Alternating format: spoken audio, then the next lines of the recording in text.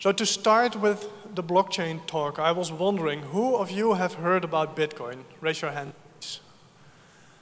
And who of those people have actually bought Bitcoins or maybe mined them? A couple of you. And who of you has ever thought about you could use the technology of uh, Bitcoin, the blockchain, for other things than just Bitcoin? Okay, very nice, very nice. So my name is Mark van Cuijk, and I'm working for InfoSupport as a blockchain technology expert. And today I want to ask a couple of questions for you. First of all, what is a blockchain? How does a blockchain fit in a software architecture? Because a blockchain is never a thing on its own. And when would it be appropriate to, to look into blockchain in a, for a project of yours? One of the interesting things about blockchains, and if I take Bitcoin for an example, what we want to achieve there is in Bitcoin, we want to transfer money from one person to another person without relying on a central party like a bank. In our current system, we need a bank. We trust the bank, they run the software, we trust that they do everything correctly. But if you want to remove that level of trust, you need a different system, a peer to peer system. And you need to solve a problem. How can you do this? A very naive way to start is let's model coins and banknotes as files. But then I can copy a file and give it to you, and I can copy the same file and send it to you. So we want some way to find out that you did not copy this file. So this approach is not going to work. I'm going to tell you what a blockchain is, and I'm going to introduce five ingredients that will be there in every blockchain. The first one is a state machine. And in a state machine, you have a couple of, of components. You have uh, a state where you start in, it's the initial state. And you have messages going into the state machine. And you have a transition function that takes an in a state and a message, and it will progress into a new state. So to make it concrete, you see here an example where both the message and the state are integers or numbers. Initial state, we say we have a value of zero, and a message of value 7 comes in, and our transition function just adds the two values. So if we apply this function, we will go into a new state with the value 7. And we can repeat this over and over again. So when we send in a message with value minus 5, we sum the two, we come to 2. Now in blockchain, we have extended this concept of the state machine a little bit. We've added a validation function, which acts on the same two input parameters, a, a state, the current state, and a message, but it will output a Boolean value, a yes or a no. It will say, this message is valid and allowed to, uh, to be acted upon in the current state. So if we take as validation function one that says the message, the value must, must be higher than the value that is in the current state, then in this case, 7 is higher than 0, so it's okay. So the value 7 flows to the transition function, and it is applied, so we go forward. Now if the message minus 5 comes in, it is smaller than 7, so this one is blocked. The message 16, 16 is higher than 7, so this one is allowed. Now, if you think about this in, for example, a money transfer context, what would this, what would this be? The validation function checks whether, um, one step back, the state contains information about balances for accounts. So it would say in the account of Mark is 7 euros and in the account of Jean is 12 euros. And then the message would say, I want to transfer 5 euros from the account of Mark to the account of Jean. Now this validation function then can say, this is not allowed if there are less than 5 euros in the account of Mark. So it will say no, and it will not be executed. Now in this case it is, so the transition function will be executed, will, which will remove 5 euros from the account of Mark and add 5 euros to the account of Jean. So this is our first ingredient. The next one we need is a distributed network. I've created one here, there are four nodes, and they're separated in uh, different persons or different organizations. So it's not that one organization is running a cluster of nodes like you would do uh, with, for example, a Cassandra cluster. In here, this is actually distributed across organizations or persons. We need those nodes to communicate, so let's add some lines. And we need to be able to pass messages from one node to the other node. But we don't need to be fully connected because nodes can forward those messages. So when a message is sent from the left topmost uh, uh, node to the one at the right top, it can forward it to, to the bottom right. So messages don't, uh, you don't need to connect everything to everything. Now let's get our previous ingredient and put it in here. Every node runs a state machine by itself and does exactly the same thing as every other node. So in here, you can see the state machine running in all the nodes, just as we have seen before. And now let's say someone inserts this message minus 5 into a node. This message is now distributed across the network, and each node by itself will run the validation function, and we'll see, no, this one is not valid. The 16 comes in, maybe at a different node. It was forwarded across the network, and every node for itself can now see the 16 is valid and will progress into the next state. This is one of the ingredients we need because now you need only to trust your own node. You do not need to trust what everybody else is doing. If they're going to screw up, make mistakes, or actually try to do things differently, not by the rules of the games, they will end up in a different state. But you can trust your own, your own node. But this is not enough. Let's say the following happens. These two nodes, they're maybe geographically separated and both have a new message, 29 and 72. Let's see what happens in this case.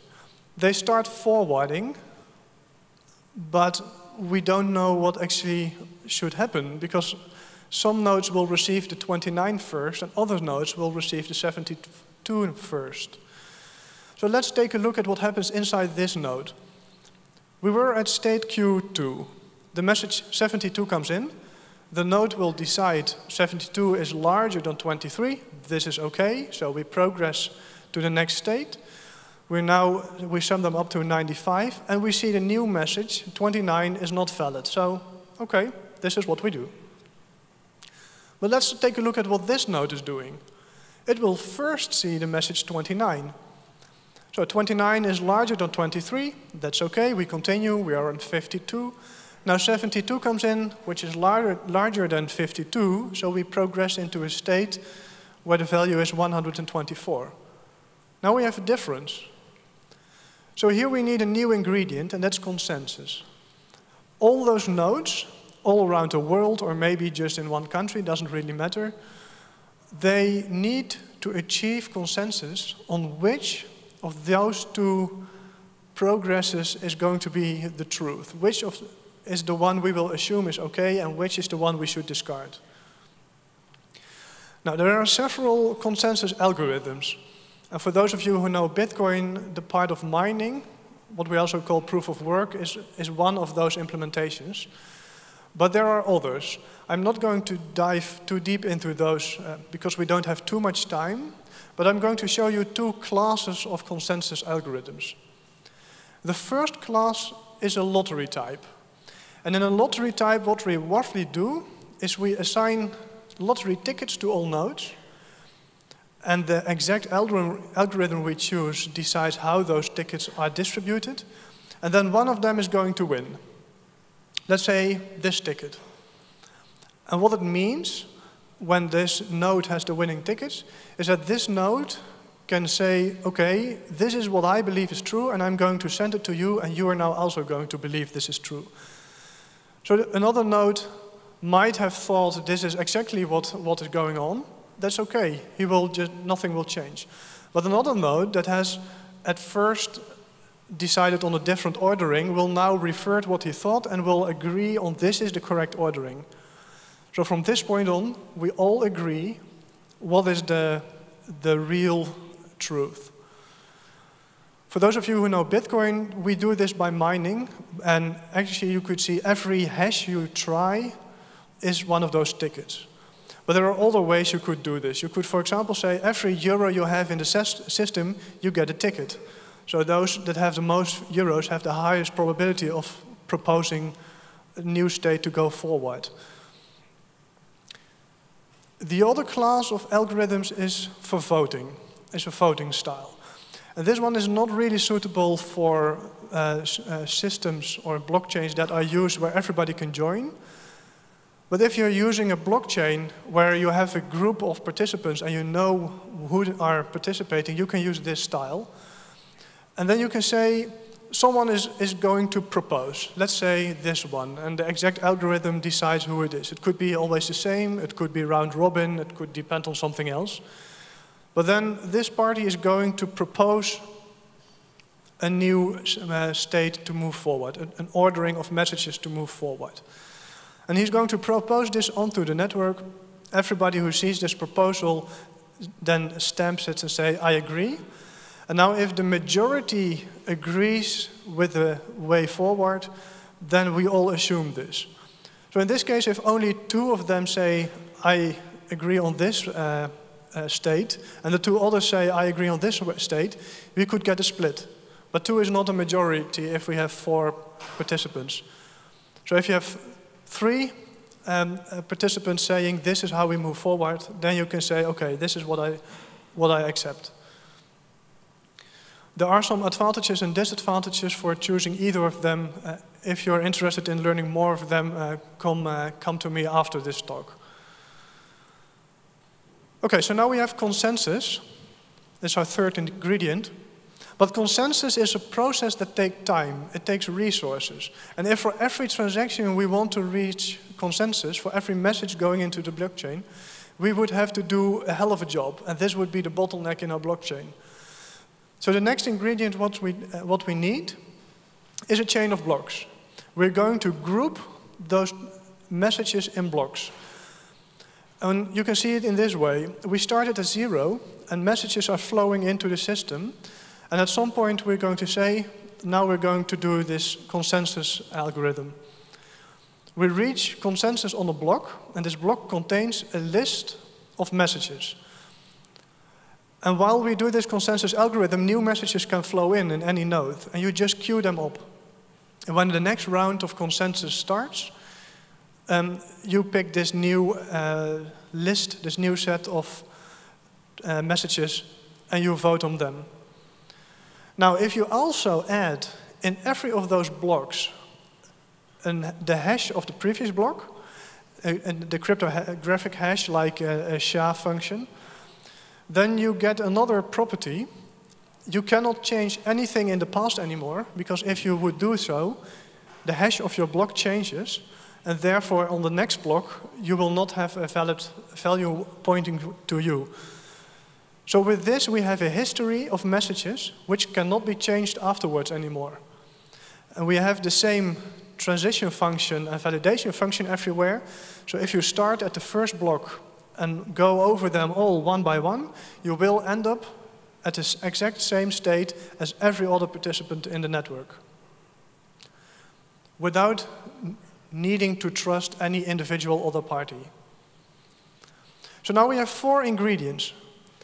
We need one more ingredient because in this blockchain we created now, there's one thing I could do which Jean would not like. I could insert a message into the network sending five euros from her account to mine. I would like, but then I know someone else can take it back from me again, so. We need authorization. And authorization is in two parts, reading and writing. The reading part, in principle, is very simple. Everybody sees everything. And this is a logical consequence of the fact that all the messages are propagated through the entire network and everybody runs the same node. So you need to see all the messages, otherwise you cannot validate whether or not there is enough balance, for example. This is true, however, there are some solutions, and two of them are being investigated at, at, at this, uh, in this time. And one of them is using some advanced cryptographics. For example, there is a project that is trying to see if they, and they actually succeeded, if they can make a modified version of Bitcoin where you can hide the amount, so it is encrypted, in such a way that you can still be sure that you are not spending Bitcoins or currency that is not yours, that you have never received before. But nobody can see how much, how much you own, how much you are sending to someone. And this is, uh, they use homomorphic encryption for this. Uh, other uh, technologies that people are looking into is zero knowledge proofs. But this is really the dark magic of cryptography. Another solution you could choose is to look into hardware, and this is something that Intel has done, for example. Intel is creating the processors, the CPUs of your computers, um, and inside some of those CPUs, they have created something uh, which they call SGX technology. And it is an enclave where you can send encrypted data in. Inside the CPU, it is decrypted. A program can run. The output is encrypted again before it is sent to, to your RAM memory. So even if you put, uh, uh, I'm going to measure what happens on the pin of the processor, you will never see the unencrypted value. And also your application and your operating system is unable to see this. So using those kinds of technologies, you can build uh, privacy in a blockchain, but you need to rely on Intel being honest in some level. The other side is writing, and this is a, a, problem which is actually solved. We use asymmetric, asymmetric cryptography for it. You have a public and a private key, Using a private key, you can create a signature and put it with a message. And then the receiver, having the public key, is able to verify that this signature is actually created using your private key and not by someone else. Now, if you have here this message saying, I want to send five euros from the account of Jean to the account of Mark, then the validation function needs to check two things. One, the signature is actually valid. And two, the public key or the private key used to generate the signature is actually allowed to send funds from the account of Jean. And the private key I have is not allowed to do so. I can only send funds from the account of Mark. So now we have five ingredients with which we can create a blockchain. We have the state machine, which consists of a validation function and a transition function. We have a distributed network, such that every participant can run its own node, runs its own copy of the state machine. We reach consensus using some algorithm, and then we form a chain of blocks and we use authorization to prevent anyone from doing whatever he is not allowed to do. I wanted to prepare a demo using a Java blockchain, but um, due to some time constraints and, and uh, unexpected events, I was unable to finish it. But to not let you down too much, I can show you a different um, one, which is using Ethereum.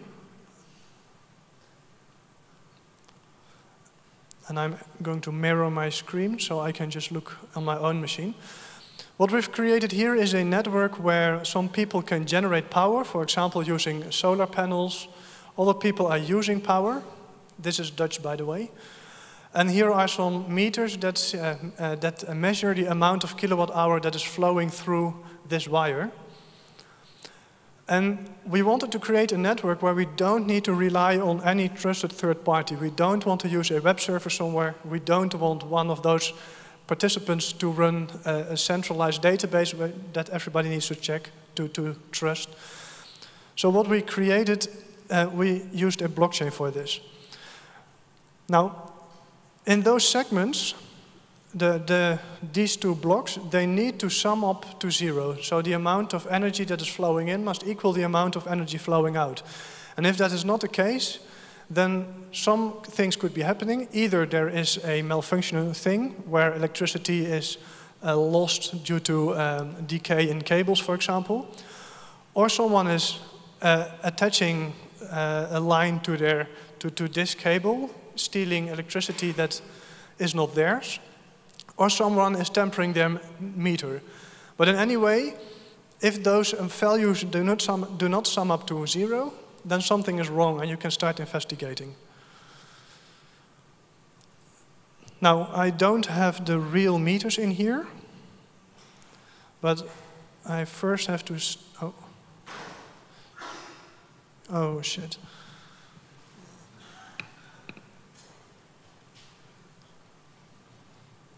I first start the consensus algorithm. It is taking quite some uh, CPU power, so I only run it when I'm actually doing this presentation.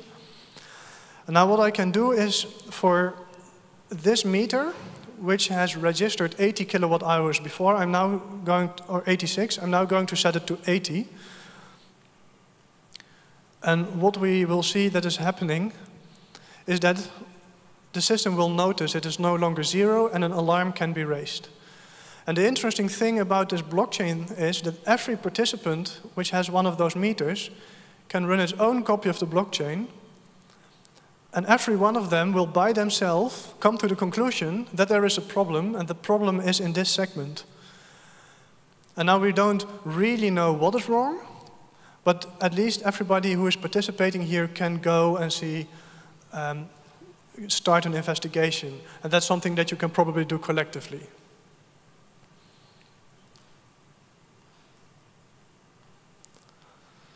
So let's go back to our presentation. Very good. So this was just a small example.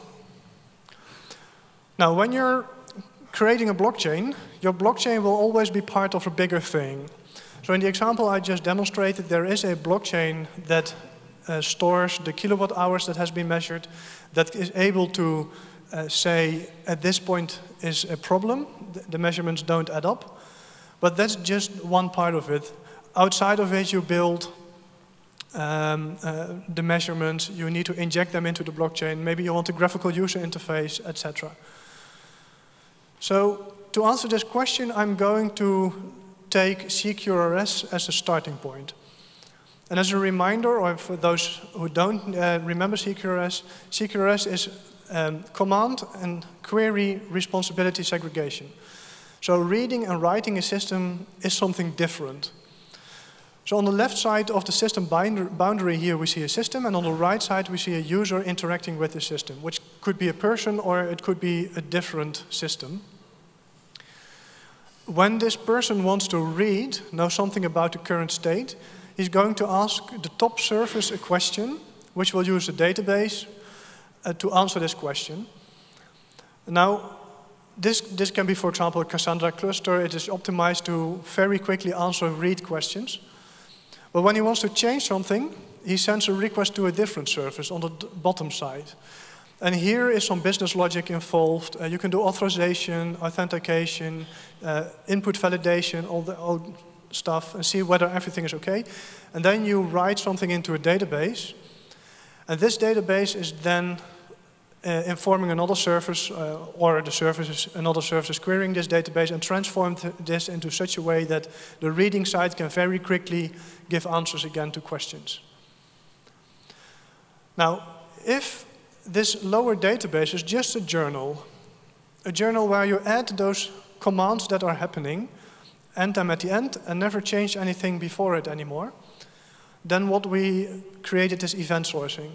The interesting thing about event sourcing is if for whatever reason you want to rebuild the top part or you want to scale it out, one naive and simple way to do is just start reading the journal from the beginning, run it through the surface that is drawn on the left, and you will come up with the same database at the top in the end.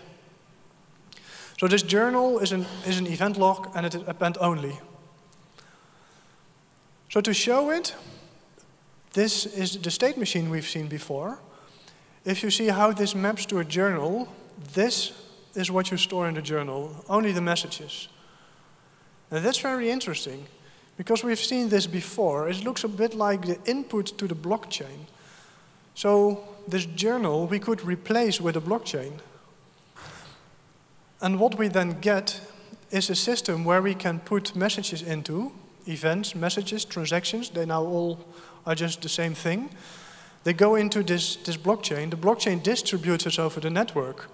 And when consensus is reached about the messages, then the blockchain could uh, output this, and the surface on the left will be able to update the database on the top again. In fact, it is a bit more difficult because there is a extra database often involved. Uh, you want to do some administration. But this is the general picture. This is also how, for example, a Bitcoin wallet works. The balances that are actually showing, when you use the user interface to see what is your balance, this balance is not actually recorded in this form in the blockchain. So you transform it using the service on the left and store something in a local database that, that is just for you, for your person, for your organization, in the, the information that is relevant for you. And what is then stored in the blockchain are just those things that are needed to, in the future, validate whether new messages are valid and to move forward in this system. So now we've seen what a blockchain is, and we've seen at what place in an architecture you could put it. There's one final question I want to answer. When is a blockchain appropriately? Well, the simple answer is, in most cases, it is not. And what you see on the internet is a lot of people hyping about this technology and saying, oh, blockchain, this is the silver bullet, and we're going to do, I don't know. But it is not always, and in most cases, not even a good solution or the best solution. There are five things you really need to answer, five questions you really need to answer with yes. And if all of those questions are answered with yes, then blockchain may be appropriate. If one of them is answered with no, then just find a different solution. So the first question, do you need a data store? If yes, okay, let's go to the next question. Are there multiple writers? If no, then just take a file on your hard disk or take an Oracle or SQL Server database and put it in your organization and build a web service on top of it or a user interface and you're done. But those multiple writers, even this is not enough. They do not need to trust each other completely. If they fully trust each other, then I would say, well, maybe not, but go for a spreadsheet on Google Docs. But I do not trust everybody, especially not if it comes to my money or to other valuable things. So people may be honest, but I don't know. They may lie. Um, if this is all there is, there is a simple solution. You could pick a third party. Um, I don't know, for example, how it works in Poland, but in the Netherlands, if you want to transfer the ownership of a house, you go to a notary, you make a deed, and we all trust this notary. So we don't need a blockchain to store who owns which house. However, if there is a situation where you don't have such a third party that you can trust, or you don't want to trust, or for a political reason it is a difficult thing, then a blockchain may be appropriate. This could, for example, be in, in Bitcoin. We don't want to trust banks, but it could also be in international trade. For example, in Europe, if you pay with euros, you have like an hierarchy where we as consumers trust commercial banks, commercial banks trust the central bank, the European Central Bank, so that's okay. And in the States, it's the same. On the top, there is the Federal Reserve. And in the UK, we have uh, the Bank of England. But if there is trade between those continents, there is nothing above the ECB. There is no global trusted party for money. So in, in those, that's also why those payments are more expensive. Commercial banks are using other mechanisms to transfer funds across continents, across currencies. So in, in this example, a blockchain could be something that is moving forward. Or another situation could be uh, in international trade when uh, I want to import, as an importer, I want to import kiwis from New Zealand. I trust my bank here in our country, but I do not know all those banks in New Zealand. I do not know which one I want to trust. And the other way around, the exporter has the problem in the other way. And those banks don't trust each other also completely. Maybe a little bit, but not completely. So here, this is a very expensive process that's going on over there with letter of credits and stuff. This is a place that may be solved with blockchain. But there is one more question we had to answer. I said there were five. I've only had seen four now.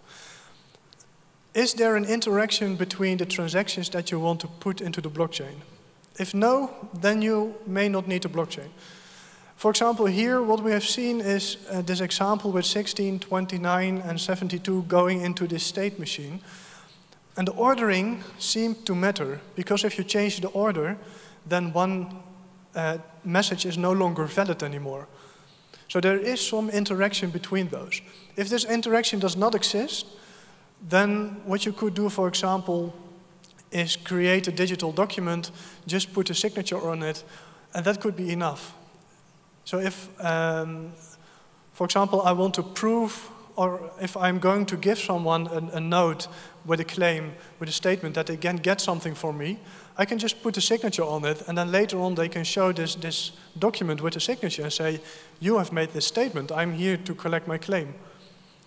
But if this claim can be invalidated by some other transaction, then a digital signature is no longer enough. So then you could say, ah, okay, let's take a look uh, at blockchain.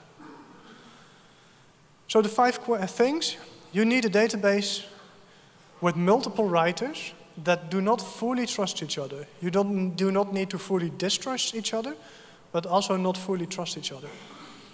You do not have or want a trusted third party, and there is some level of interaction between messages.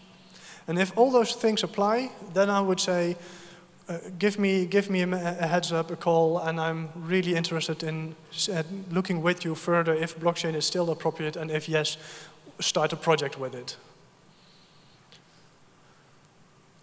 Are there any questions?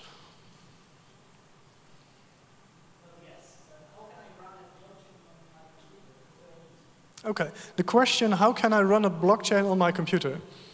Well, one thing you can do is download Bitcoin and you have a blockchain running on your computer.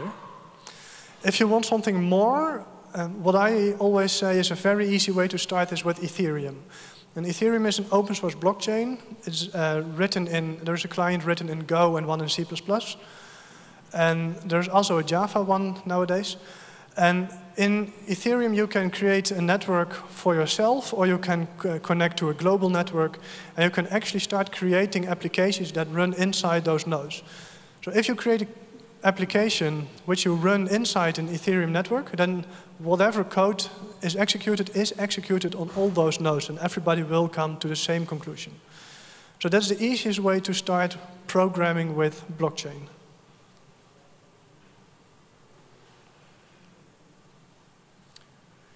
If there are no more questions, I would like to thank you and wish you a pleasant stay today.